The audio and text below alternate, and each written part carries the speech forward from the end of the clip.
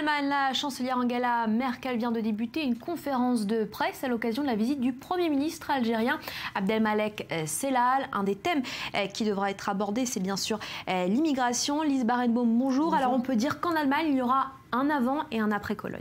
En tout cas, c'est ce qu'a déclaré le vice-président du CDU, le parti d'Angela Merkel. Le climat de confiance est vraiment rompu en Allemagne. L'hebdomadaire Der Spiegel titrait ce week-end avec une phrase choc. Le pays est sur le point de basculer après ses agressions sexuelles à Cologne. Et face à cet émoi, Angela Merkel va durcir le régime d'expulsion des demandeurs d'asile et des réfugiés qui sont déjà condamnés par la justice pour essayer de décourager les éventuels entrants. Son ministre Thomas de Mézières, lui, veut renforcer la présence policière dans la rue et accroître la vidéosurveillance, même si pour le moment, le gouvernement allemand refuse de fermer ses frontières et de limiter arbitrairement le nombre de migrants autorisés à entrer en Allemagne. Alors, est-ce qu'on peut parler d'un volte-face de la part d'Angela Merkel qui avait plutôt favorisé hein, l'arrivée de ces migrants dernièrement? En tout cas, on a l'impression que l'ère de la société multiculti, quand on, comme on dit en, en allemand, la société multiculturelle est bel et bien terminée. La chancelière parle aujourd'hui d'un devoir d'intégration pour les immigrés,